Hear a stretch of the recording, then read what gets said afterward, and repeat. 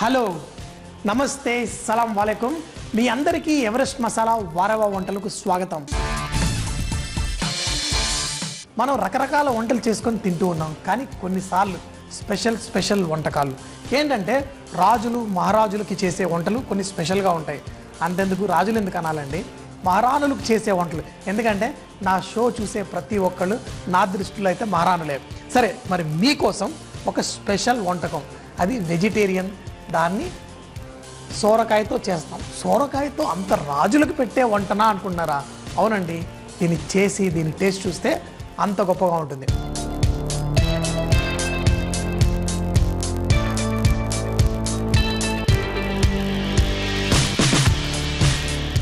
అయితే ఈ సోరకాయని మరి ఏం చేశానంటే ముందుగా గుజ్జు అంతా తీసి పక్కన పెట్టేశాను.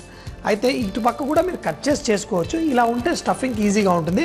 కానీ హోల్ మాత్రం చూడండి ఎంత పర్ఫెక్ట్గా ఉంది. అయితే ఈ సొరకాయ మరి దాంట్లో రుచి అదంతా రావాలి అంటే మరి ఎలా? ఇలా సొరకాయని చేసుకున్న తర్వాత దీనికి ఇలా ఒక ఫోర్క్ తీసుకొని మనం చిన్నగా ఇట్లా హోల్ చేసుకుందాం. ఇలా చేసుకోవడం వల్ల ఉప్పు అదంతా లోపలికి వెళ్ళి టేస్ట్ ఈ సొరకాయకు కూడా మంచిగా వస్తుంది.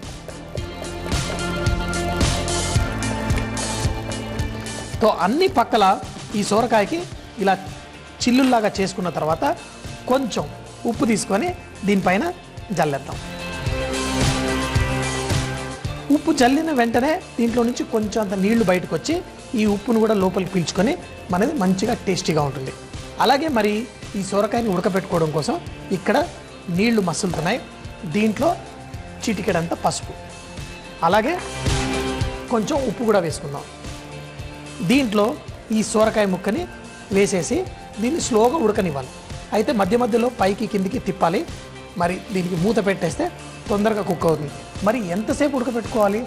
మరి ఫుల్గా కుక్ అయిపోయింది అనుకోండి మ్యాష్ అయిపోతుంది. అందుకే ఫిఫ్టీ పర్సెంట్ కుక్ అయ్యేంత వరకు దాన్ని స్లోగా కుక్ చేసుకుందాం. ఒక పది నిమిషాల్లో అది రెడీ అయిపోతుంది. దాని తర్వాత దాని లోపల స్టఫింగ్ చేయాలి. ఆ స్టఫింగ్ ఎలా చేయాలో మరి ఇప్పుడు చూపిస్తాను. మరి దీంట్లో స్టఫ్ చేసుకోవడానికి మనం ఎటువంటి కూరగాయలైనా వాడుకోవచ్చు. కానీ పాలకూర ఆకుకూర అలా వాడకుండా కొంచెం బంగాళదుంప ఇలాంటి అంటే ఎక్కువ స్ట్రాంగ్ ఫ్లేవర్ లేనివి వాడుకుందాం. ఉడకబెట్టిన బంగాళదుంపని గ్రేట్ చేసి పెట్టుకున్నాను. అలాగే ఇందులో మన బఠానీలు ఇవి కూడా ఉడకబెట్టుకుని వేసుకుందాం. దీంట్లో మరి ఆ రిచ్ ఆ స్వీట్నెస్ కొంచెం హాట్నెస్ యాడ్ అవ్వడం కోసం కిష్మిష్ కూడా చాప్ చేసి వేసుకుంటున్నాం. ఇందులో మరి నట్స్ ఉండాలి కదా బాదాం పిస్తా ఏవి కావాలంటే అవి వేసుకోవచ్చు. కొంచెం పొదుపుగా ఒట్టి జీడిపప్పే వాడుతున్నాను. అలాగే స్టఫింగ్లో కొంచెం పచ్చిమిరపకాయలు కొంచెం అంత ఉప్పు. దీంట్లో మనం కొబ్బరి. కానీ కొబ్బరి డెసికేటెడ్ కోకోనట్ అంటారు. అంటే ఎండు కొబ్బరి తురిమింది ఉంటుంది కదా. ఇది వాడేటప్పుడు చాలాసార్లు నేను చూస్తాను. మనం ఈ ఎండు కొబ్బరి తెచ్చి ఇంట్లో స్టాక్ ఎక్కువ పెట్టుకోకూడదు.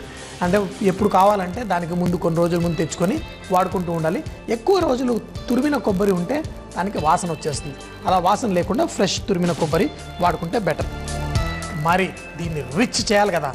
ఆ రాజులకి మహారాణులకి కావాలంటే దీనిలో కొంచెం అంత కోయ. మన దగ్గర కోయ లేదనుకోండి ఏం కంగారు పడక్కర్లేదు. ఏముంది మిల్క్ పౌడరు అంటే ఇంట్లో చిన్న పిల్లలు పాలు తాగే పిల్లలు ఉంటే మిల్క్ పౌడర్ ఉంటుంది కదా. దాంట్లో కొంచెం అంత నెయ్యి చిటికెడంత పాలు వేసి చేసుకుంటే మీకు కోయలాగా తయారవుతుంది. అది కూడా ఇందులో వేసుకోవచ్చు. లేదు మనకి కోయా వద్దు అనుకుంటే పన్నీర్ కూడా వేసుకోవచ్చు. వేయకపోయినా పర్వాలేదు. సో ఇవన్నీ పెట్టి ఒక పిండిలాగా కలిపేసుకున్నాం ఏంటి దీన్ని ఏం చేయబోతున్నాం అనుకున్నారా ఆ ఉడుకుతుంది కదండి సోరకాయ. సరే ఈ సోరకాయ కూడా ఒక పక్కన ఉడికిపోయి ఉంటుంది. మరి దీన్ని ఇంకొక పక్కకి తిప్పుకుందాం. తిప్పి ఇలా స్టీమ్ చేసుకుందాం. ఈ లోపల దాన్ని లోపలికి కావాల్సిన ఈ దీన్ని పిండిలాగా చక్కగా కలిపేసుకున్నాం కావాలంటే కోయా బదులు పన్నీరు వేరేవి కూడా వేసుకొని చేసుకోవచ్చు. స్టఫింగ్ అనేది మీ ఇష్టం. మీకు ఎలా టేస్టీ టేస్టీగా అనిపిస్తుంది మన ఇంట్లో వాళ్ళు ఎలా ఇష్టపడతారు అనుకుంటే అలా చేసుకోండి. దీని లోపల స్టఫింగ్ లోపల దాంట్లో ఇంకా ఫ్లేవర్ యాడ్ చేయడం కోసం కొంచెం అంత యాలకుల పొడి వేసుకుందాం. దాన్ని కూడా వేసి దీన్ని కలిపేసుకుందాం. ఇప్పుడు ఆ సొరకాయ రెడీ అయిపోతుంది. దాని లోపల మనం ఈ మిక్స్చర్ని స్టఫింగ్ చేసుకుందాం. అది ఎలా చేయాలో నేను చూపిస్తాను. మరి సోరకాయ కూడా ఉడికిపోయింది. కొంచెం జాగ్రత్తగా. ఎందుకంటే సాఫ్ట్గా ఉంది కాబట్టి తీసేటప్పుడు ఇలా తీసేసి ఒక ప్లేట్లో పెట్టుకుందాం. ఇది కొంచెం చల్లారిన తర్వాత దీంట్లో స్టఫింగ్ చేసుకుందాం. అయితే ఈ సోరకాయలో మనం బంగాళదుంప కోయ అన్నీ కలిపి పెట్టిన మిక్స్చర్ ఉంది కదా. చూడండి ఎంత సింపుల్గా స్టఫ్ చేస్తానో ఇందులో వేసేద్దాం. వేసిన తర్వాత స్లోగా దాన్ని చేతితోటి ప్రెస్ చేద్దాం. ఎక్కువగా గట్టిగా ప్రెస్ చేశారనుకోండి ఏమవుతుంది? ఇది బయట ఉన్నది విరిగిపోయే అవకాశం ఉంటుంది.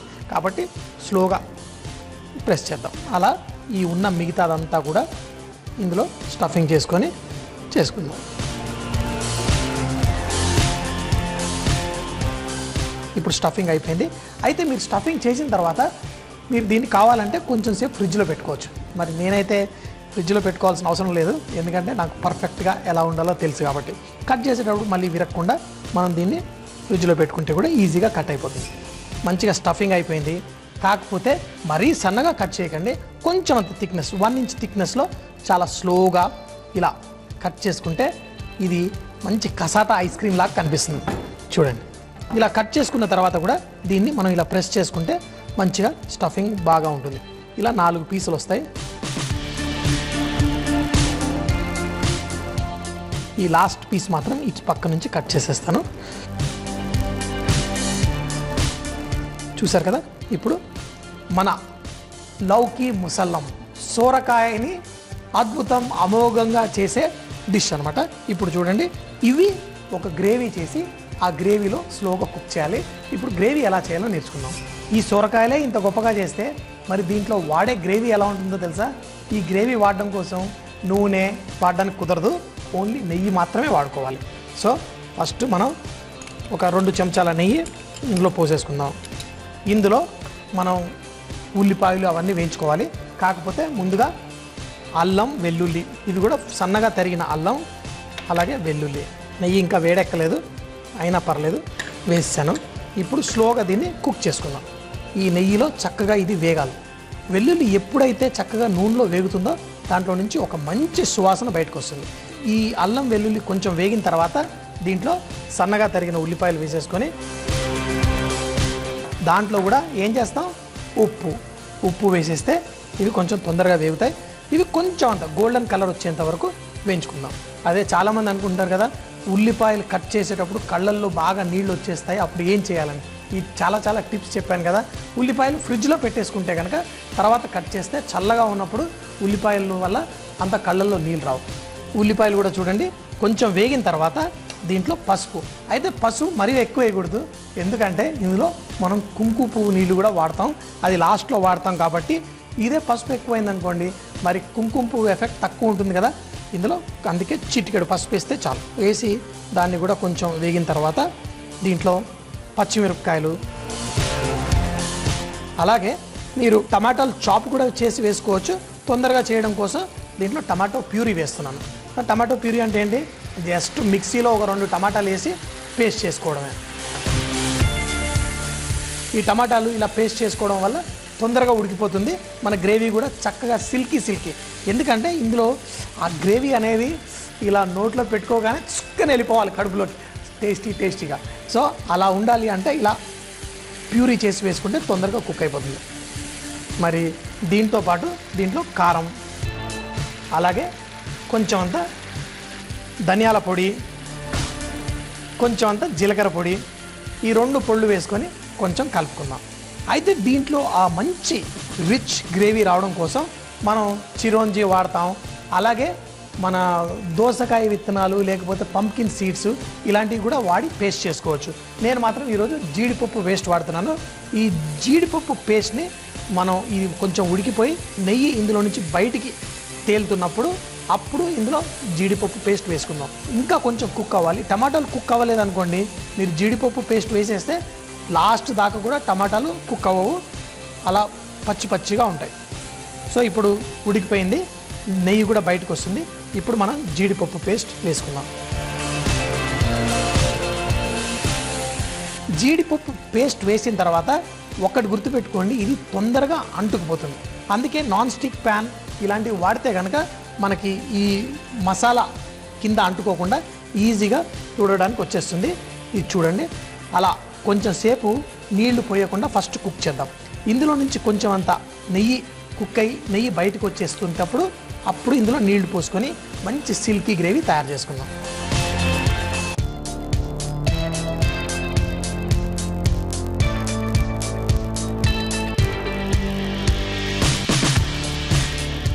చూసారు కదా? ఇందులో నుంచి నెయ్యి అంతా బయటకు వచ్చేస్తుంది.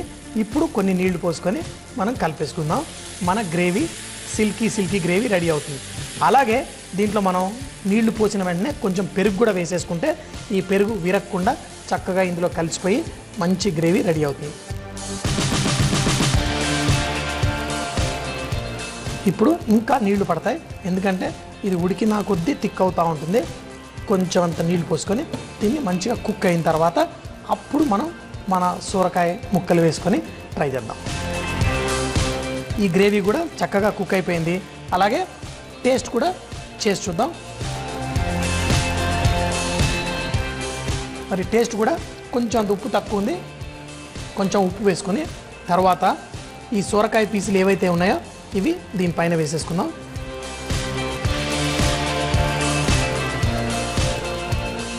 ఇందులో కూడా గ్రేవీ వెళ్ళాలి కదా? అందుకని చెప్పేసి ఈ గ్రేవీని దీనిపైన కొంచెం పోసుకుందాం. మరీ ఎక్కువగా గ్రేవీలో మునిగిపోయి ఉండకూడదు. దీంట్లో ఫ్లేవరు టేస్ట్ అంతా ఈ సూరకాయలు తింటుంటే అప్పుడు వస్తుంది కాబట్టి మరీ ఎక్కువగా గ్రేవీ వేయకుండా ఇలా కప్పేసి అలాగే స్లోగా దీన్ని కుక్ చేసుకోవాలి. దీన్ని మూత పెట్టేసి ఇప్పుడు సిమ్లో పెట్టేద్దాం. సిమ్లో పెట్టేసిన తర్వాత ఒక ఐదు నిమిషాల పాటు కుక్ చేస్తే చాలు. ఎందుకంటే ఆల్రెడీ సొరకాయ ఉడికిపోయింది. దానికి చిన్న చిల్లులు పెట్టాము. ఇవన్నీ చక్కగా కుక్ అయిపోతాయి మరి ఒక ఐదు నిమిషాలు ఉడికిన తర్వాత దీంట్లో చూడండి నెయ్యి కూడా కొంచెం బయటకు వచ్చేస్తుంది ఇప్పుడు మనం దీంట్లో క్రీమ్ వేసుకుందాం. క్రీమ్ కూడా వేసి ఇమీడియట్గా కలుపుదాం. అప్పుడు విరక్కుండా ఉంటుంది. మనకి గ్రేవీలో కూడా చక్కగా కలుస్తుంది. మరి సోరకాయ ముక్కలు విరక్కుండా ఉండడం కోసం నేను క్రీమ్ ఇలా పక్కకు పోసేసి దీన్ని ఇలా కలిపేసుకున్నాం. అలాగే దీన్ని స్లోగా అట్లా ఇలా అని ఇలా కదులుపుతూ ఆ క్రీమ్ని కూడా సరిగ్గా అంతా కలిసిపోయేలా చూసుకుందాం. ఇప్పుడు దీంట్లో ఉన్న మజా ఎప్పుడు వస్తుందంటే మనం ఈ పీసులు ఒక్కొక్క పీస్ తింటే సూపర్ సూపర్ మజా వస్తుంది. ఓకేనా? మరి ఇందాక చెప్పాను కదా లాస్ట్ పసుపు ఎక్కువ వేయకూడదు. ఎందుకంటే లాస్ట్లో కుంకుమ పువ్వు నీళ్ళు పోస్తామని ఇక్కడ కుంకుమ పువ్వుని నీళ్ళలో నానబెట్టాం. ఈ కుంకుమ పువ్వు కూడా కొంచెం వేడిగా ఉన్నప్పుడు మనం నీళ్ళు వేసుకుంటే దాంట్లో మంచి ఫ్లేవర్ కూడా బయటకు వస్తుంది. ఇలా పెట్టేసి మూత పెట్టేసి ఒక రెండు నిమిషాల తర్వాత స్విచ్ ఆఫ్ చేసేసుకుందాం. కొంచెం అంత చల్లారిన తర్వాత తిందాం. మరి ఇప్పుడు రెడీ అయిపోయింది. మరి నేను ఎలా ఫీల్ అవ్వాలి? రాజాది రాజాలాగా ఫీల్ అవ్వాలి. ఇది ఎంజాయ్ చేయాలంటే. అంటే నేను రాజాది రాజునే అనుకోండి. అయితే దీన్ని తీయడానికి మాత్రం ఒక స్పూన్ మంచిగా ఫ్లాట్గా ఉన్న స్పూన్ తీసుకొని తీసుకుందాం. ఓకే? ఇప్పుడు దీని సాస్ కూడా దీని మీద పోసుకుందాం. చూడండి ఎంత సూపర్ సాస్. ఏ సోరకాయ ఇంతకుముందే చూశానండి. డౌట్ వస్తుంది కదా మీకు ఉడికిందా లేదా అని. చూడండి ఎంత సింపుల్గా ఈజీగా ఉడికిపోయిందంటే అంత ఈజీగా చక్కగా ఉడికిపోయింది ఈ మసాలాతోటి మరి నెక్స్ట్ ఏం చేయాలి? మనం టేస్ట్ చూడాలి. ఏంటి అంటే ఈ డిష్ నేను కొన్ని వందల సార్లు చేసుకున్నాను. ప్రతిసారి తిన్నప్పుడల్లా ఇంత అద్భుతమైన డిష్. First time తింటున్నానా? ఎందుకు రోజు రోజు చేసి తినట్లేదు అనిపిస్తుంది. సో కొంచెం వేడి ఎక్కువ ఉంది అయినా.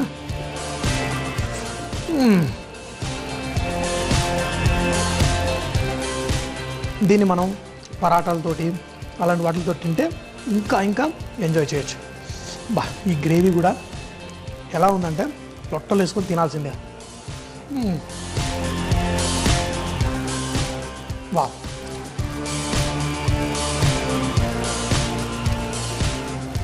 ఇంకోటి ఏంటంటే ఇలాంటి స్పెషల్ డిష్లు మీకు సాధారణంగా హోటళ్ళల్లో కూడా బెటర్ ఎందుకంటే ఇది చేసిన వెంటనే తినేయాలి. ఏదో తర్వాత ఒక నాలుగైదు గంటల తర్వాత తిందాము అంటే కూడా కుదరదు అనమాట చేసిన వెంటనే వేడి వేడిగా తింటే దీంట్లో ఆ టేస్టు ఆ గొప్పతనం అన్నీ ఇందులో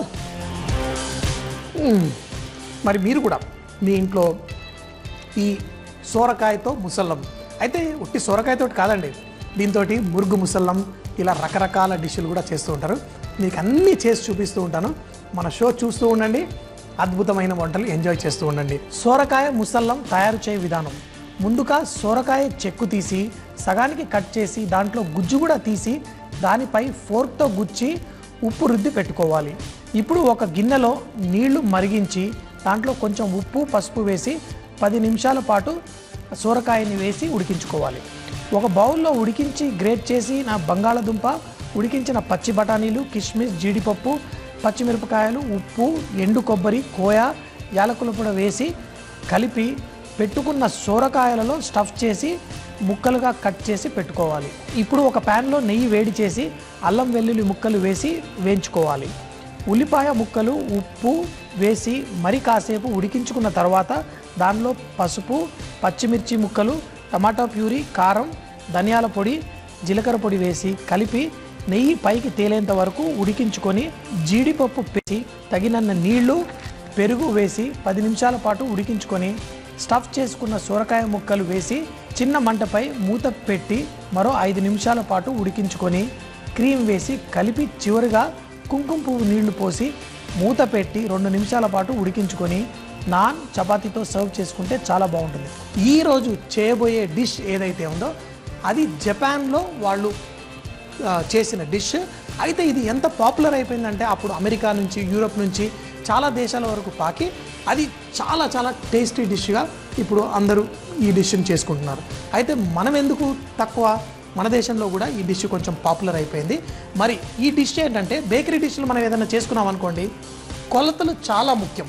అంటే కొలతలు అంటే మనం ఒకవేళ పిండి వంద గ్రాములు ఉందంటే వంద గ్రాములు మాత్రమే తీసుకోవాలి. అదే నూట ఇరవై గ్రాములు తీసుకున్నామంటే డిష్ పాడైపోతుంది. అట్లాగే ఈ డిష్ కూడా మనం కొలతలు బట్టి చేసుకుంటేనే దాంట్లో టేస్ట్ వస్తుంది. ఈ డిష్లో మసాలాలు నూనె ఉప్పు ఇలాంటివి ఏం వేయకుండా చేసినా కానీ ఈ డిష్ కొలత ప్రకారం చేస్తే కనుక అద్భుతం. అసలు టేస్ట్ ఉంటుంది అదిరిపోతుంది. కాబట్టి మీరు ఒక పేపరు ఒక పెన్ తీసుకొని కొలతలు రాసుకోండి. అయితే ఈ డిష్లో మొదటిగా క్యారెట్. క్యారెట్ అరవై ఐదు గ్రాములు. అలాగే బీన్స్ ఉంది చూసారా? యాభై గ్రాములు. మరి ఎక్కువ తీసుకోకండి దాని టేస్ట్ చెప్పాను కదా మారిపోతుంది. అలాగే మనం మినప్పప్పు నలభై గ్రాములు మాత్రమే తీసుకొని కొంచెం నీళ్ళలో నానబెట్టుకొని అవి ఇందులో వేసేసుకుందాం.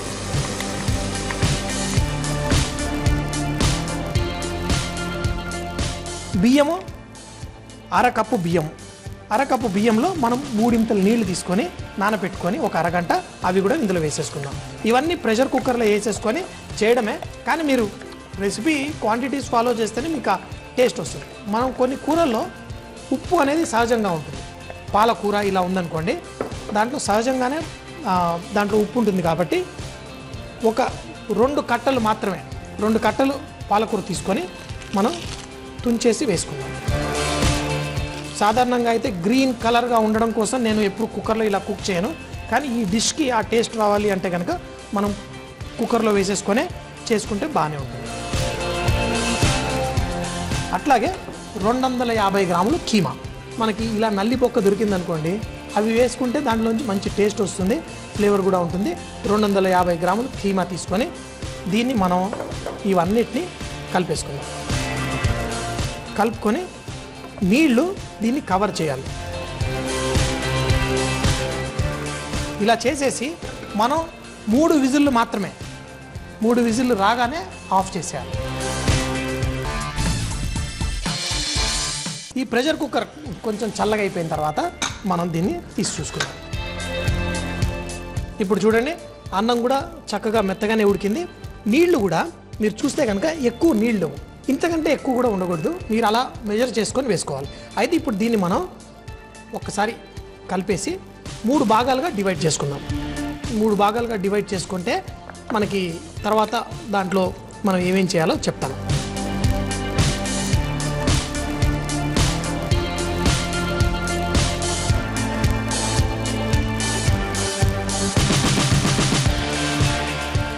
అలాగే ఇంకొక భాగం. ఇక్కడ కూడా డివైడ్ చేసేసుకున్నాం మరో భాగం ఇంకో ప్లేట్లో వేసుకుందాం అయితే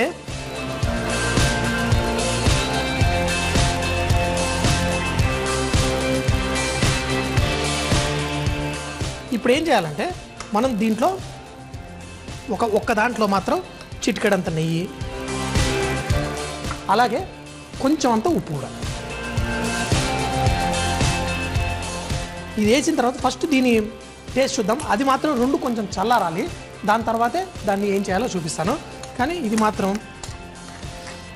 గుర్తుపెట్టుకోండి ఇందులో ఉప్పు వేశాను నెయ్యి వేశాను కానీ అందులో ఒక చుక్క నూనె కానీ ఒక చుక్క నెయ్యి కానీ ఉప్పు కానీ ఏ మసాలా కానీ వేయలేదు. సో అది టేస్ట్ చేసి చూద్దాం.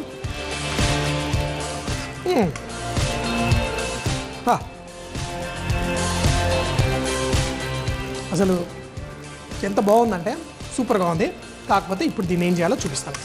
ఎప్పుడు మనం సెల్ఫిష్గా మనం రకరకాల వంటలు చేసుకొని తినడం కాదు మన కుక్కల గురించి పక్షుల గురించి స్పెషల్గా ఇప్పుడు ఎండాకాలం కదా మీకు వీలైతే ఏదన్నా పగిలిపోయిన చిప్పలు అలాంటి వాటిల్లో నీళ్ళు పోసి కూడా ఇంటి పక్కన కాంపౌండ్ వాళ్ళు గోడల మీద పెట్టండి.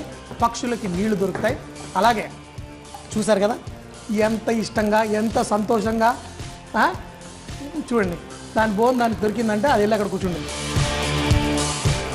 మనం కూడా చక్కగా ఆస్వాదించడం కాదు మన చుట్టుపక్కల ఉన్న జంతువులు పక్షుల గురించి కూడా ఆలోచించి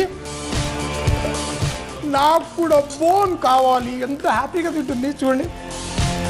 చూశారు కదా ఈరోజు ఏప్రిల్ ఫస్ట్ అంటే ఫూల్స్ డే. మరి ఈ రెసిపీతో మిమ్మల్ని అందరినీ ఫూల్ చేశానా? మన జీ ప్రేక్షకులందరికీ హ్యాపీ ఫూల్స్ డే నీది నువ్వు తినమ్మా. మరి వచ్చే ఎపిసోడ్లో మరిన్ని కొత్త వంటకాలు. అప్పటిదాకా సీ యూ బాయ్ బాయ్ ఖుదాఫిస్